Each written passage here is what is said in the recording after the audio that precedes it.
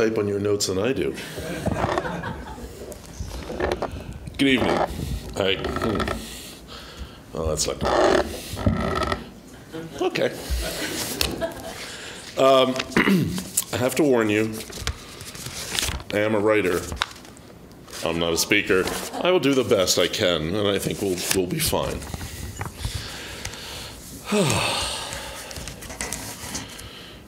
I've, I have slow down written at the top of every page because I tend to, to get into a rush to get to the bottom of the page. So uh, I would like to thank the festival organizers and Davin for inviting me to speak tonight. I've been quite excited about the opportunity ever since Davin first contacted me back in September.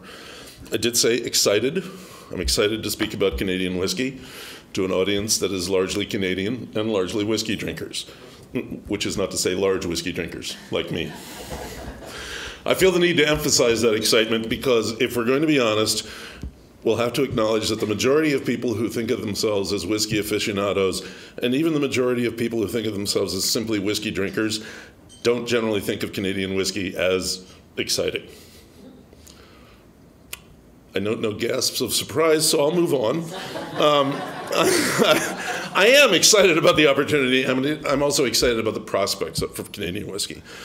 Uh, there's work to be done, uh, work that may need to go in a somewhat different direction than it is currently, but that's what I'm here to talk about. And when I've said my piece, if anyone's interested in hiring a marketing consultant who's a complete but passionate novice, I'll have cards available.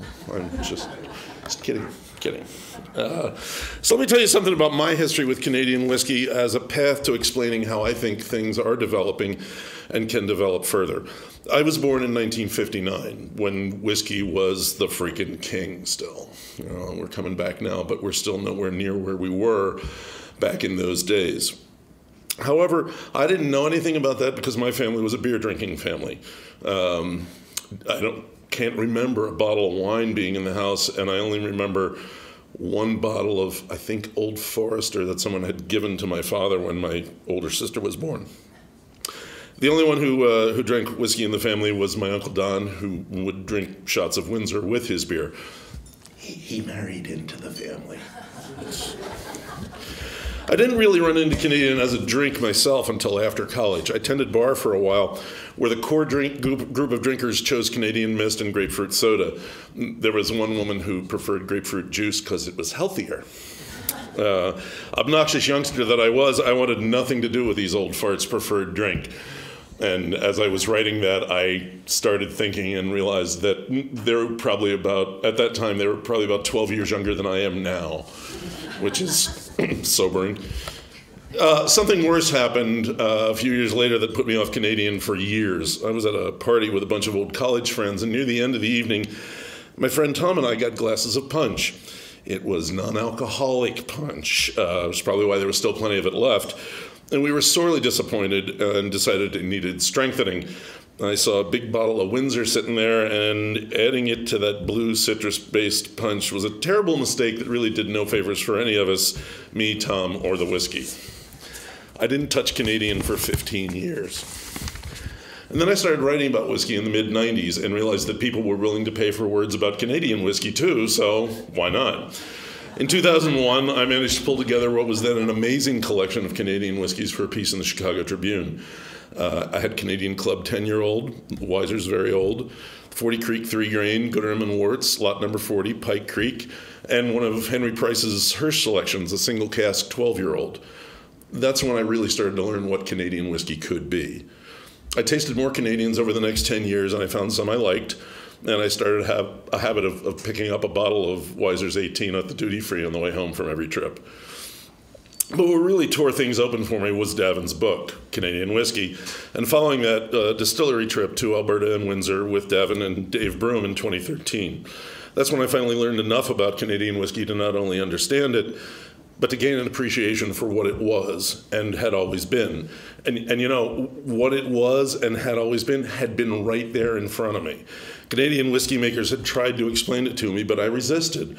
I remember interviewing uh, Crown Royal Master Blender Andrew Mackay back in 2012, and I had only listened to him, he said, It's designed to feel and taste this way. It's quite distinct from bourbon, it's quite distinct from scotch. We try to be very distinctive, and we know that we have to make our distillate the best it can be. We can't just depend on the wood. All the whiskeys are aged separately in individual barrels, different batches. We make it this way on purpose. Now, actually, I looked at the uh, interview again, just checking some after I had written this he said we make it this way on purpose three times in the course of the interview. So, and that was it. That was this essential nugget that I was going to reap from from Davin's book, and then visits to Alberta Distillers and Black Velvet and Highwood. But I didn't get it then. I just sat there listening to Andrew and nodding and smiling and thinking, yeah, yeah, yeah, it's sweet and it's blended. I get it. But you know what really did finally open my eyes? Uh, Many of you will probably not be surprised to learn that it was a tasting with Dr. Don Livermore uh, later on that trip with Davin and Dave. After a tour of the huge Windsor plant, uh, Don had laid on a tasting of over 40 spirits for us. Nosing and tasting, I should say, since some of it was spirit right off the column at 190 odd proof. Three of those right off the column spirits were the corn, rye, and wheat distillate for the base whiskeys. One was their polar vodka.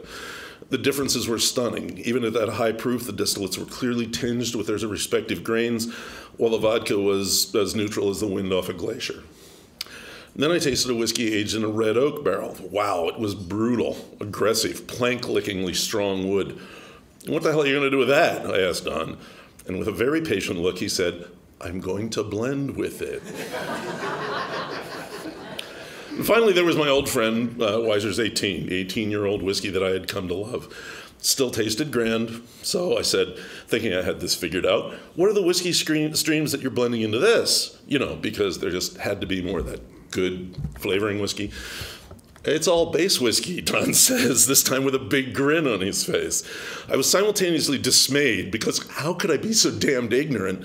And elated because this was it. This was the instant when I finally grasped the whole idea of Canadian whiskey, the potential and the beauty of blending the streams that Andrew and Davin and Rick Murphy at Alberta Distillers had tried to explain to me. And now I can actually start my talk because, as is my terrible habit, I've completely buried the lead again. Uh, I really need an editor. so, this is what Canadian whiskey, Canadian distillers have to do to seize the greatness and respect they need and deserve. Tell people what you are. Didn't matter 40 years ago because people then bought on ads and reputation and celebrity endorsements and promotion and what their family drank. And then vodka started to go crazy, and what whiskey was finally started to matter. Whiskey had to explain what it was. Every other whiskey got there first, it seems. People already understand them pretty well. Scotch, 200 years of brand history, peat and sherry, tartan and bagpipes, blends, and single malts, even if they may regret overselling the whole single malt thing a little bit now. Bourbon, fine corn liquor. Southern hospitality and mint juleps, Kentucky, Kentucky, Kentucky. New barrels and more rules than you can shake a stave at. And, well, Jack Daniels, you know. Japanese whiskey. Uh, it isn't scotch, and apparently that's all that matters to most people. Go figure. Irish. See, now, Irish just amazes me. Take the makers of the dominant Irish brands, put them all in a room, and they can't agree on what Irish whiskey is. Been there, seen it. It is the damnedest thing.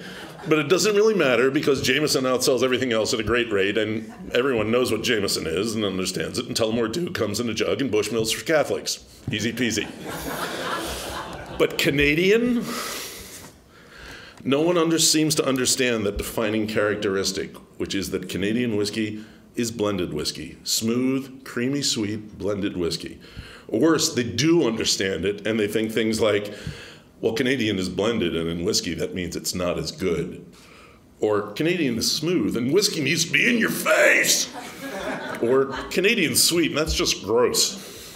But here's the thing the majority of Scotch is blended. A lot of really freaking good Irish is blended.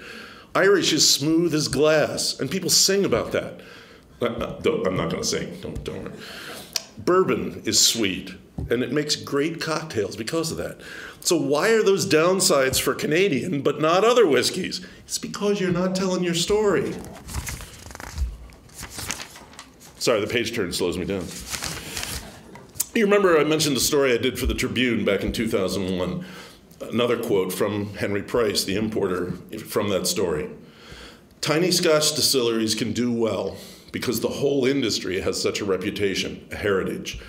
The distilleries in Canada have never put out any information about themselves. They just send product out through big international companies. So no one is really passionate about Canadian whiskey. Now, obviously, present company excluded, but wow, bullseye. It's not necessarily easy to explain to people how the whole blending thing works and why it's the heart of it, but you have to. Because the blending process is brilliant. It's why the person who gets the respect, the honor, the reverence in Scottish whiskey isn't the master distiller, it's the master blender. Blending is truly an art, taking different streams of whiskey, different distillates, different barrels, different ages, different distilleries, different finishes, and bringing them together to make something that is consistently unique in quantities huge or tiny. The blending is the thing, and the breadth of palate Canadian blenders can work with is astonishing. Take the Alberta Dark Batch, Dark Horse, whatever you call it, whatever country you're in, as an example. If I tell folks it has 1% sherry in the blend before they taste it, they almost always just shut down. So it's not really whiskey, is a typical response. But if we taste it first, or even better, if we mix up some Manhattans with it and taste those first, and then I tell them about the sherry, they're much, much more interested. Let the whiskey do the talking. Just shut up a little, and then tell them how it's done. That's going to work with some people. With others, it's going to be getting them to drink it the way it's meant to be drunk. Let me explain with three more really short stories. First, my 25 year old son drinks Canadian whiskey. Why? Mad Men. Someone brought a bottle of Canadian Club to a party and they made highballs like like Don Draper and his buddies. And surprise, they liked it. A bunch of 20 somethings drinking, drinking what is usually, pardon the inconvenient truth, a gray hair drink in America. Second story, quite similar. Friend of mine, about 40, professional woman, confirmed Miller Lite drinker. Suddenly she's drinking Crown and Coke. So I ask, how'd that happen?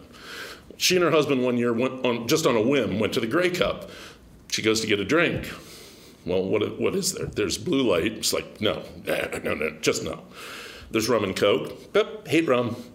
And there's Crown and Coke. So I tried it, but the second one, I was a Crown girl. Third story. I've been doing a series of whiskey tastings for my college alumni association.